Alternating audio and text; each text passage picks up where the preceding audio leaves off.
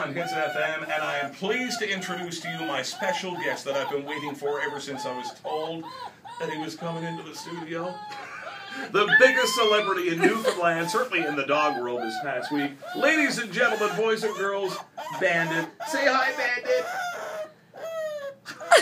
Oh, my heart is breaking.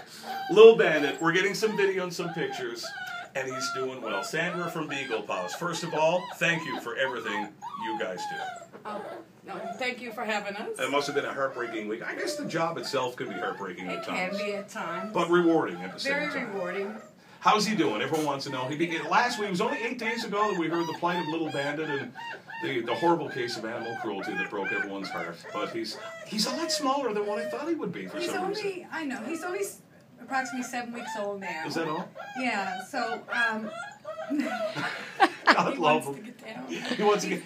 Now he's still in a cast here. He had a, a fractured back leg. Is that right?